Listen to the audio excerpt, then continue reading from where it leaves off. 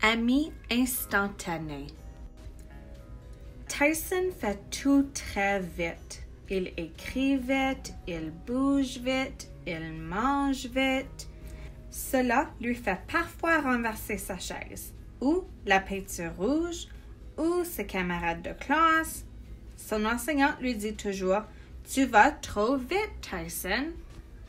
Par contre, à la récréation, Tyson peut sauter, grimper et courir super vite dans la cour d'école. Mais il doit attendre que tous les élèves soient prêts à sortir. Chaque jour, Tyson doit attendre, attendre et attendre. Parfois, il s'écrie Dépêchez-vous! Ces jours-là, Tyson joue toute seule.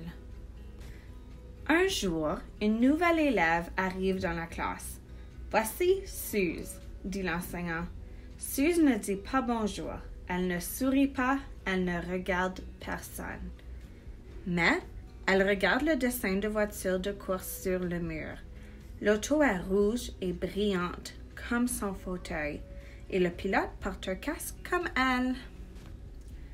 À l'heure du lunch, Tyson termine son repas super vite. Suze mange le sien à l'aide d'un tube, alors elle est encore plus rapide.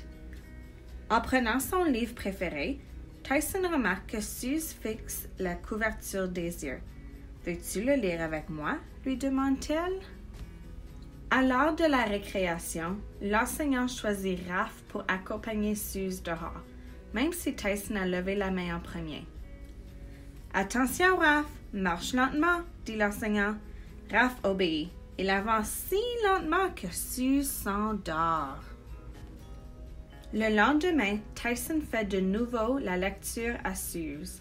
Cette fois, l'enseignant choisit Lisa pour accompagner Suze. Lisa regarde les grands jouer au basketball, mais pas Suze. En rentrant chez lui après l'école, Tyson entend Bip bip, laissez-nous passer! Il s'écarte du chemin d'un bas. Un fauteuil roulant rouge et brillant passe à toute vitesse.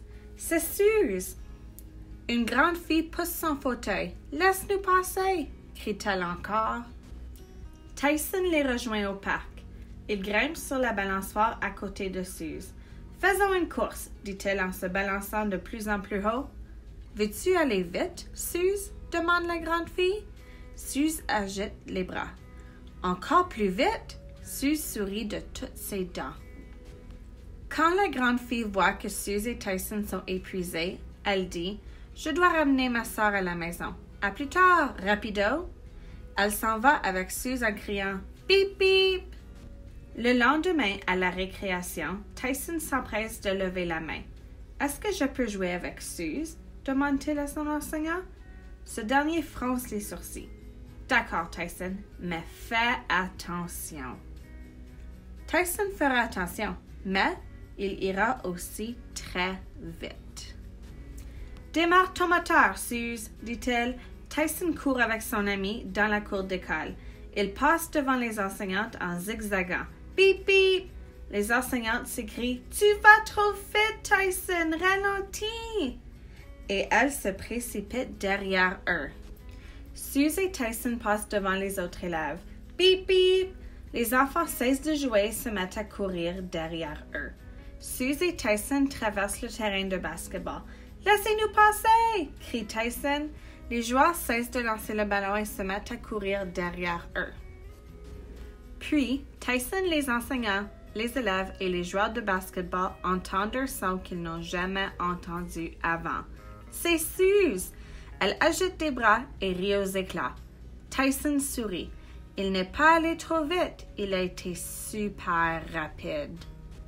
Et c'était juste assez vite pour Suze.